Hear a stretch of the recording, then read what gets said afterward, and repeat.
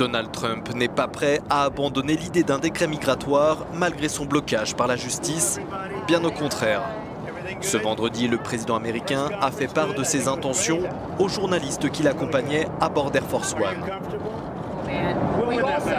Nous allons gagner cette bataille. L'aspect malheureux, c'est que ça prend du temps de saisir à nouveau la justice, mais nous gagnerons cette bataille.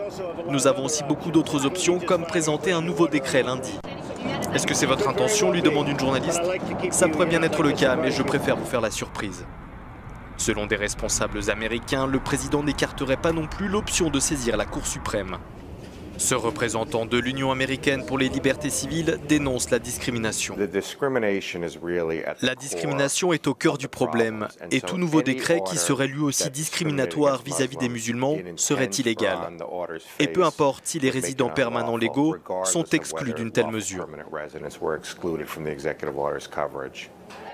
Ce vendredi, des militants d'Amnesty International se sont rassemblés à proximité de la Trump Tower pour dénoncer le décret du président qui veut interdire temporairement l'entrée aux États-Unis aux ressortissants de sept pays musulmans.